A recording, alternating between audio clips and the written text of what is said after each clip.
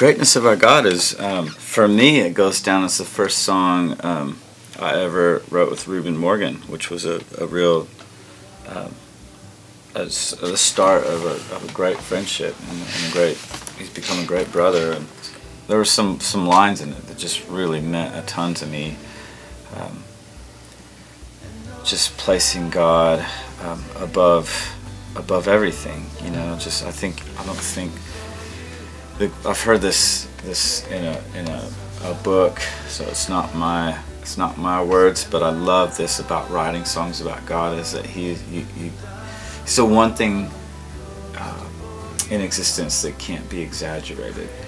When you think about that, it's it's a pretty profound thought, and um, so writing a song, I was, I was thinking about that a lot around the days that we wrote this song, and, and um, so to say that no sky can contain him, but that would be an exaggeration of everything else, but not a God, you know.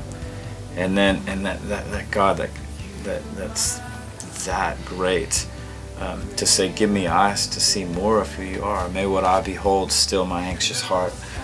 Um, I think that that's what we're always seeking as we as we as as we come before the Lord and worship Him, or, or dig into His Word, or talk about Him together. It's just that, that we would see more of Him, and that the every time we just catch a greater view or another glimpse, another angle of this unfathomable, undescribable God, that our anxious hearts would be stilled.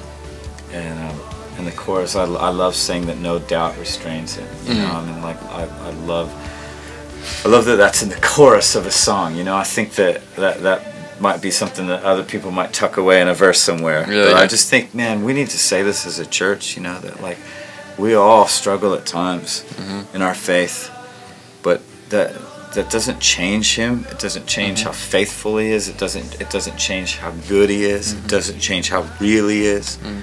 My thoughts on him don't define him. They don't change him. They don't contain him. Mm. And um, true. this song was with me for a little while, a, a few months, and uh, and then it was one of the first things I worked on with you. So Yeah. it was sort of the beginning of two friendships for me that have become like life friendships. And um, so Stu came over one day, and I'm like, man, I've got this song, and uh, we were just we were just we're we're pretty close, but there were some some missing pieces, and and so Stu and I um, worked on those together, and and it, it became. Uh, it's it still stands as sort of the song that anytime I lead anywhere, if if, if they're not tired of it, I'm